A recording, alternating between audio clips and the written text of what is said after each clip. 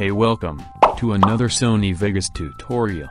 If you haven't subscribed yet, press that red button to stay updated. So today, we are going to create a wipe text animation in a very simple method.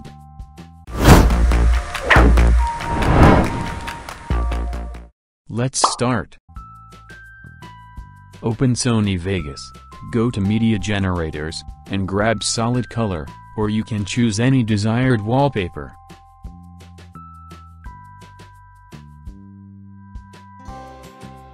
Now change the color of another solid, so here, we use this solid color for our wipe text animation.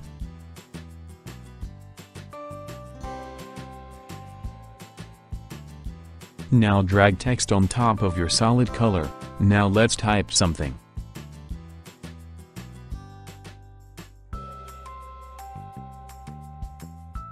Now copy this text and paste it.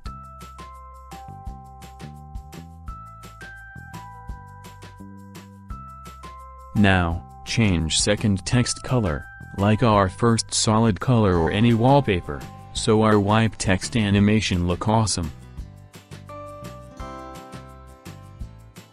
Now go to transition and select linear wipe.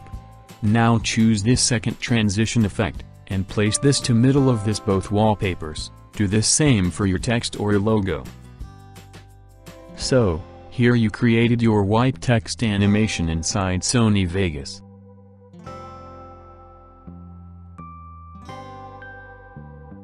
You can also play around in this effect, click on this.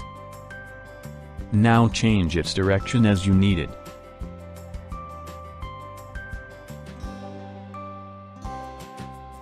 So that's it, if this tutorial helped you press the like button, also don't forget to subscribe, see you in next tutorial, stay tuned.